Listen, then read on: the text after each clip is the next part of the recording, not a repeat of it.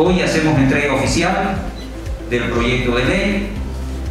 Los recursos están en el presupuesto, tenemos la partida presupuestaria, tenemos los recursos, está garantizado el pago del bono escolar.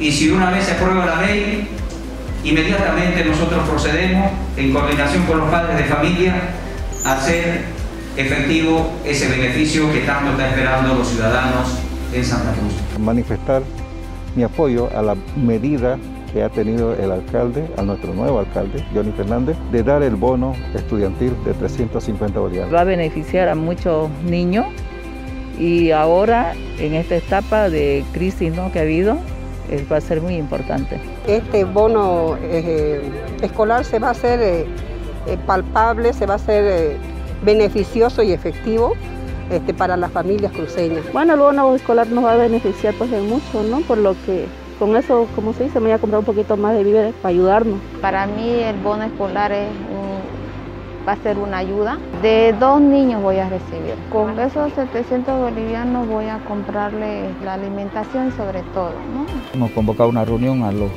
padres de familia de los diferentes distritos. Estamos aquí coordinando todas las acciones que vamos a hacer y el bono escolar va a ser una realidad. Estamos esperando ya que el Consejo apruebe y una vez apruebe se hace el reglamento y después harán los convenios y se comenzará con ese proceso. Hemos llegado a acuerdos de consenso en lo que es el trabajo que vamos a realizar en bien de la educación en Santa Cruz. Este acuerdo eh, tiene ocho puntos, uno de ellos es el de ratificar y garantizar el pago del bono escolar de 350 bolivianos para el ciclo inicial y primario, que son más de 200 mil niños que se van a beneficiar.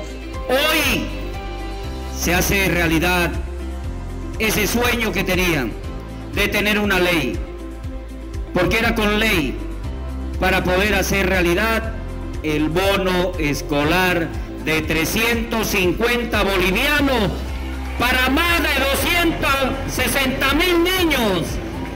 No tengo ni tres meses de alcalde, ustedes me eligieron, ni tres meses, y tenemos cinco años. El primero de julio elaboramos un proyecto de decreto y se lo mandé al señor presidente. De allá me llamaron y me dijeron que era buena idea. Y yo le dije, tomen en cuenta ese decreto. Es una iniciativa del alcalde. Y ayer el presidente en su gabinete aprobó de que se va a realizar el censo de población y vivienda, porque así ahora por justicia no va a tener más recursos, va a tener Santa Cruz. He peleado para que tenga más recursos. Yo tengo tres pilares en el que voy a trabajar, he dicho. El primero es la salud. Vamos a equipar los hospitales. Vamos a comprar medicamentos. Vamos a seguir con las pruebas. Vamos a seguir ayudando con las brigadas en los barrios. El otro pilar, la educación. Escúcheme, padre de familia. Aquí se lo dije cuando yo juré como alcalde que iban a tener bono, que van a tener tablet, pero también se acabó el privilegio de unos cuantos que en esta alcaldía eran dueños de las obras de Santa Cruz.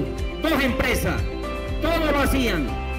Disque refaccionaban escuelas, disque hacían las obras por las escuelas. Se acabó, se acabó esa fiesta. Ahora he quedado con los padres de familia. Ya no va a haber uno o dos empresas que hacen todas las refacciones y concentran el poder en pocas manos y la plata en pocas manos. No, señores.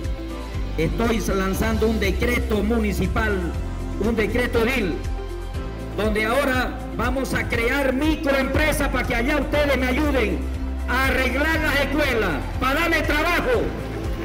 Yo quiero empleo para la gente.